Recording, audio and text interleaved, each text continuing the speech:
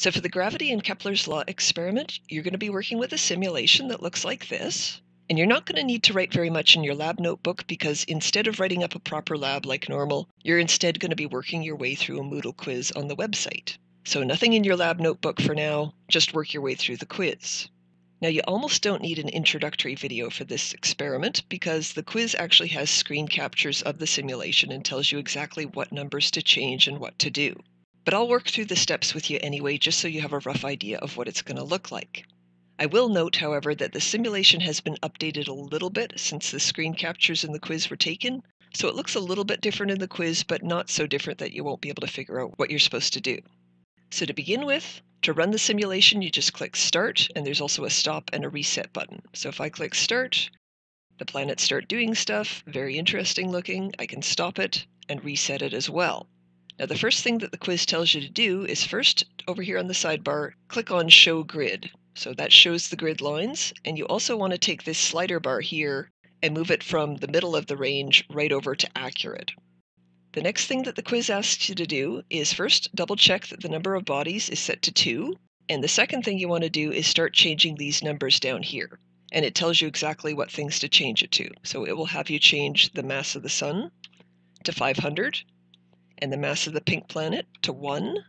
And then it tells you to move the position the x position of the sun over to minus 300, and then move the position of the pink planet over to plus 200. And then everything else should be set to zero, and there are a few things here that you do need to change to zero. So you do that, and now you're ready to begin. So first let me point out this timer down here at the bottom.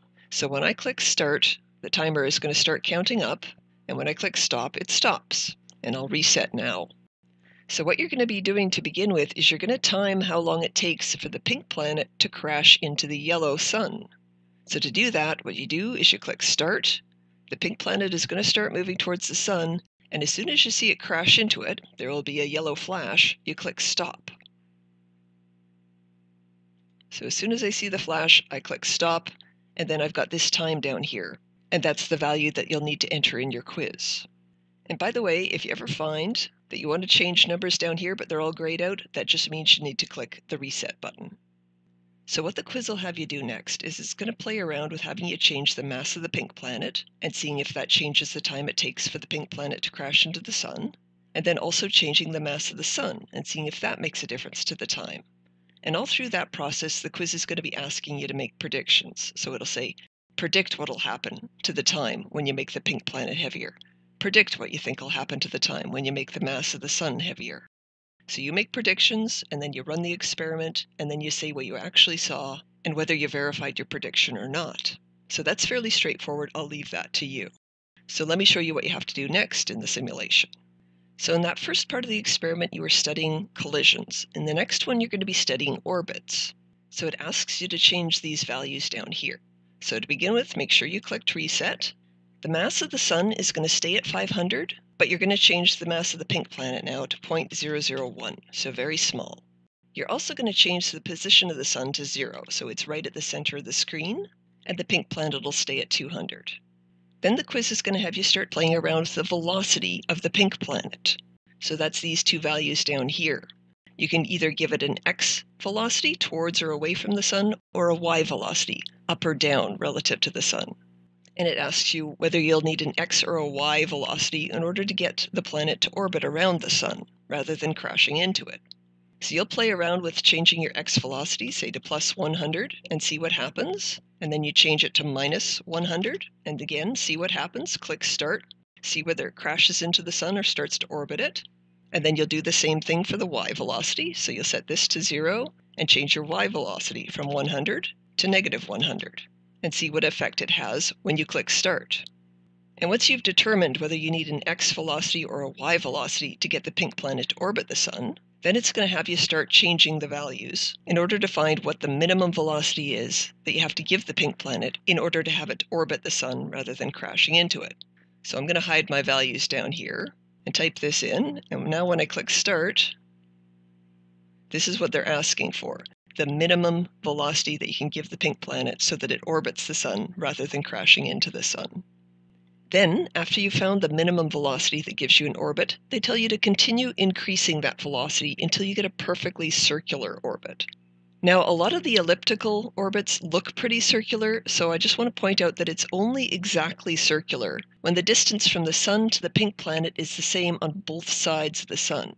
So right now the pink planet is one, two grid steps over, it's only a circular orbit when the pink planet goes through one, two grid steps over here. So it has to go exactly through these grid lines right here. Otherwise, I don't have exactly a circular orbit yet. So you would keep increasing your velocity until such time as you get a completely circular orbit.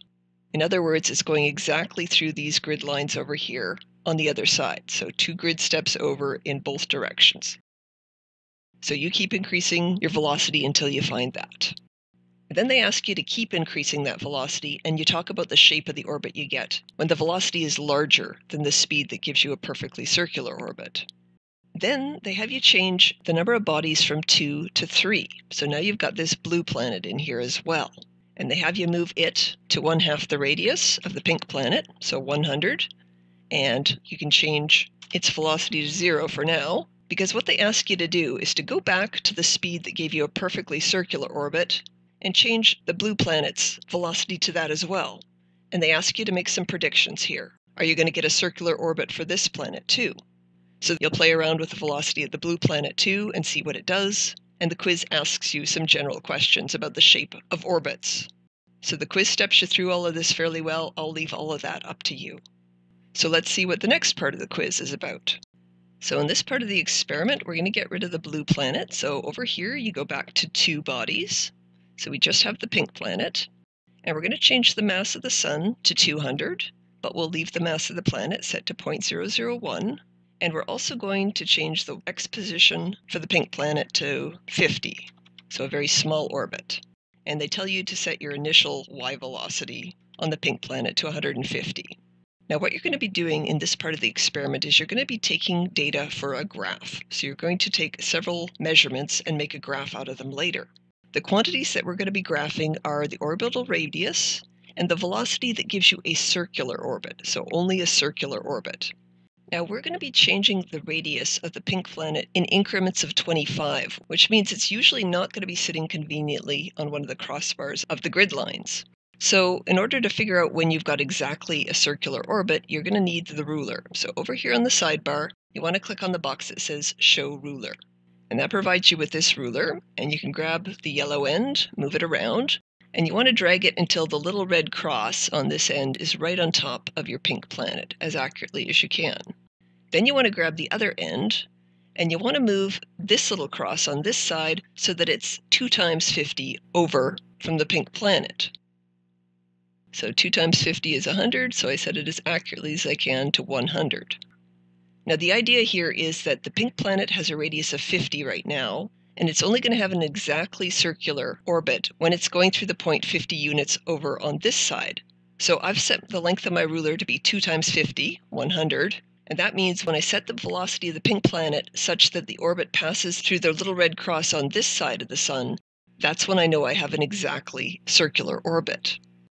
So if I click Start, you see that it does orbit the sun and it kind of looks circular, but it's actually an ellipse because it's not going through the red cross on the ruler. So I stop this and reset it, and I would just keep adjusting my velocity until I do get a circular orbit.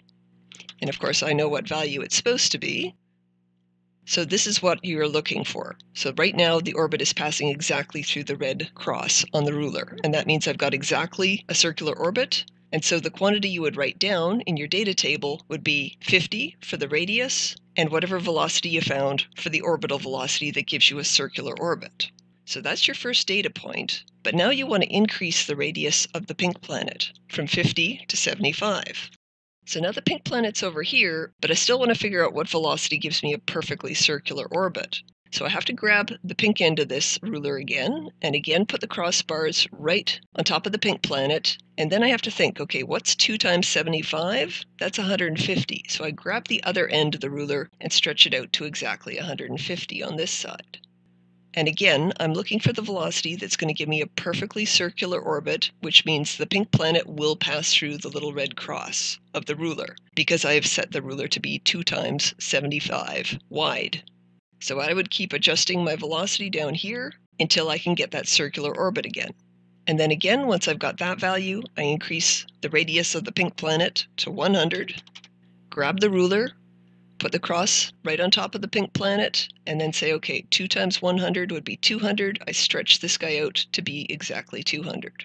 And then again, play around with the velocity until I get a perfectly circular orbit.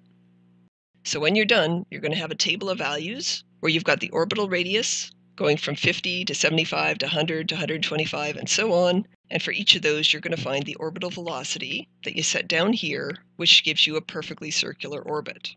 Then you're going to graph your data and check whether the data verifies Newton's version of Kepler's third law.